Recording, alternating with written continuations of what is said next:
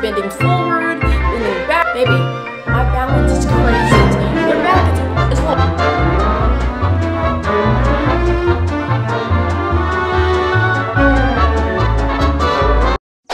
Welcome back to my channel. So if you haven't already read the title, we are getting educated today. And I talk about this a lot, right? Because we are not only here on this channel to get fondled, okay, inappropriately with a little bit of issues, um, but also to be educated. And I want to you guys to be able to take away some stuff so that we can all be knowledgeable fitness gellies. Now hear me out, right? So we are talking about the difference between core and abs because yes, they are not the same thing. Those words are not interchangeable. They are mutually exclusive. Well, they're not mutually exclusive, but for the sake of this video, we're gonna consider them mutually exclusive. So we're gonna break this down into a little bit of a, a little, a little, a little girl talk, okay, and uh, boy talk, and uh, also whatever you identify talk, okay, because we are all inclusive in this channel.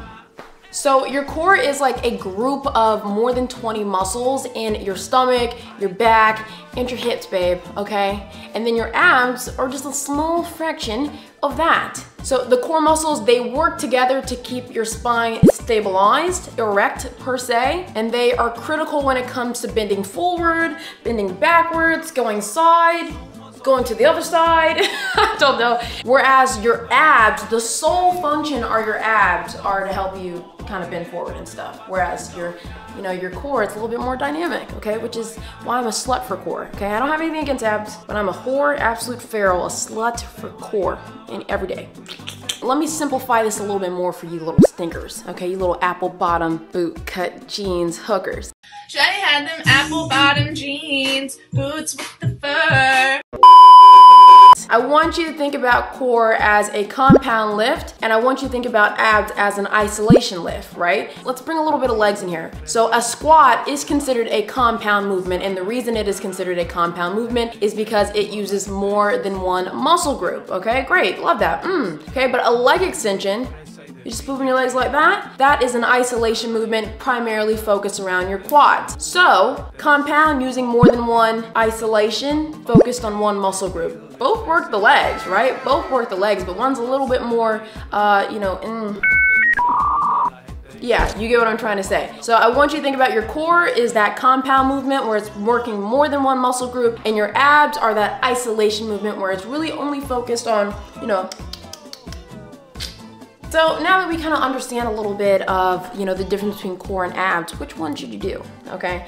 And I'm extremely judgmental. I'm very picky. If I had to choose, I'm gonna pick core over abs any fucking day. Uh, any day. Okay. okay. And I just said previously I'm a slut. You know, You're a little slut. you know, a whore maybe for core. And this is just my personal opinion on it. If you only had to choose one, choose core, okay? Because abs are cool and all right. Abs are amazing. We love a good dynamic movement, but core is going to be the one that is, it's just gonna be on top, you know? Put your foot up there. 12 seconds later. Also, I know you guys see my uh my new bling. Okay, guys, I'm a smartwatch girly, and that leads me into today's sponsor. Let's give a huge shout out to Best Buy for uh, giving me a big fat kiss on the mouth when they reached out. Sorry, you guys make me a little nervous. But yeah, so they are sponsoring today's video and they let me try out the Garmin Venu 3. Of course, like any other smartwatch, you can get your calls, your messages. It tells me, you know, lets me know the weather for the day, which is nice. I really don't use it for that. Um, I primarily use it to focus on my health because that is obviously what this entire channel is about. Don't be silly, you little slinky booty. But I have recently become freaking sedentary, man. Like working from home, like I'm sitting in my house. Okay, I'm not moving from my from my table all day. And I, what I like about it is that it has like little reminders that's like, it's like, hey, you've been sitting down too long, like it's time to get up. It's like buzz buzz, it's time to step. And I like that because then I'm like, okay, well, I obviously need to take a little break. Let me go on a hawk or a walk. Um, one of the other things that I really, really like about it, which this is like probably my, my, my main thing, is that it tells me how many calories I burn throughout the day, as well as when I'm sleeping. And so why is that such a great, amazing thing? Well, here, let me tell you why. If you know exactly how many calories you're burning throughout the day, you literally, one, don't have to guess how many calories you should be consuming because you know, and two, you'll be able to play around with it a little bit. So if, let's say like my maintenance calories, like typically is 2,300 calories. So that means that if I'm trying to remain the same,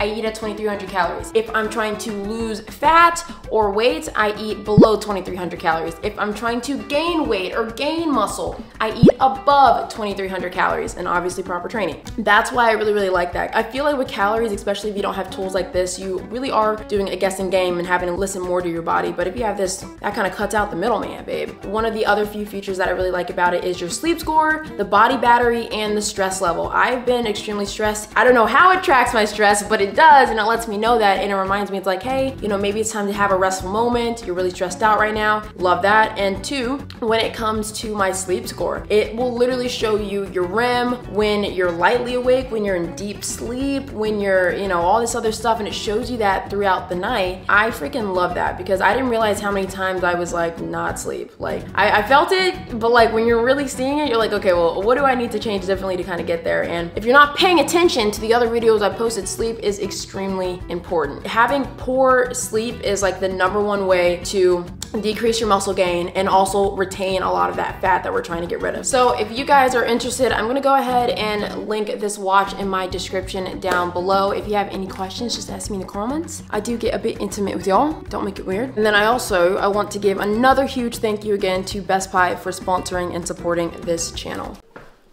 My hips. Oh God, that hurts. The reason why I would personally prefer we focus more on core than ab exercises, right? Because I think the misconception is that if you do a whole bunch of ab exercises, you're gonna see a six pack, when in reality, that's just not true. There are a lot of things that play into someone's ability to see their six pack, right? And it's, it's more than just doing the exercises. They're really built in the kitchen, okay? So if you're not seeing yours, it's probably just because you have a certain amount of fat on top of them and they're not able to be pierced through, but everybody everybody has abs, man, everybody, okay? And I'm, you know, I'm gonna tell you something, right? My dad, my dad's a personal trainer, okay? He's been a personal trainer for 20 plus years. And when I was a child, when I was a skinny little twig, my dad used to be like, show me off to his clients, be like, lift your shirt up, not in a weird way.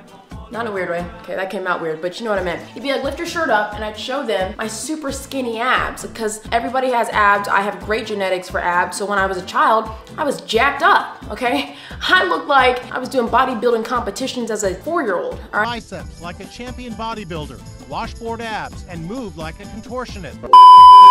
Right? And my dad would be like, oh, you see her? She's got abs. You guys can do it. But like in reality, like that's just like not true, right? Because the reason why I had abs is because I had a very low body fat percentage as a child and good ab genetics, not because I was sitting there doing a million crunches to die. So I want you to keep that in mind. If you're trying to see abs, you've never seen them before, you probably just aren't at a low enough body fat percentage. You serious? I find core to be a domino effect. If you were to strengthen your core, make it super, super strong, dense, an absolute unit, it is going to make your lift stronger and we want that, okay? Because oftentimes the reason why people can't lift as heavy as they might like is because their form is breaking. Sometimes their back is, is a little arched too much, you know, when they're doing this, or maybe their back is a little too round, or maybe they're, you know, they're feeling all this random pain and stuff like that. One of the reasons for that is because they just have a really fucking weak core. Now, I want you to think about it like this. If your core is stronger, you'll be able to lift more weight. Okay, now if you're able to lift more weight when you're working out, that means you're going to be able to tear more muscle fiber. And the tearing of muscle fibers, that process, that rebuilding process is how we build muscle. So if you have more muscle on your body, okay, what's that mean? What's that mean, guys? Don't get rude, don't get rude. It means means that you're technically gonna be able to burn more calories throughout the day without exercising. And that is because muscle requires a lot of energy to maintain. And so your body is working really, really hard to maintain the muscle that you have built, meaning you are burning more calories. You see why I prefer core? Now, if I'm burning more calories, that means I don't have to eat as little to see the same results because my body is already doing a good majority of the work for me. I don't have to be in the gym for an hour and doing 60 minutes of cardio because I'm putting on muscle, babe. A majority of the shit in fitness is a domino effect. And as soon as you start, you know, shifting, shifting your perception into that, like you're gonna make your life a lot easier. Trust me. When I started transitioning from doing a whole bunch of ab exercises, all right, to actually doing core exercises, that is when I saw the most strength gains. And that is one of the reasons why I saw a shit ton of results. Baby, my balance is crazy. Great, ah, fuck. Damn, almost pulled my quad. Yeah, anyway, my balance is crazy. My stability, she's a whore. She can balance multiple different things, and I want you to go ahead and um, use your imagination for what I'm talking right, now the question is, how do you train your core, right? Like everyone knows how to train abs. Chop on the floor and give me a couple crunches. Core is not the same. It is a stabilizer muscle, which I've said over and over again. So if you haven't gotten that in your goddamn noggin, I want you to open Okay. your ears. How we train it is by destabilizing the environment. In a little bit, we are gonna head over to the gym. I'm gonna give you two workouts. One workout is going to be a core workout, which I love, ooh, ah, ooh. And the other exercise is going to be an ab circuit for you guys. So you're welcome. I know I'm a gracious person. A few inches later.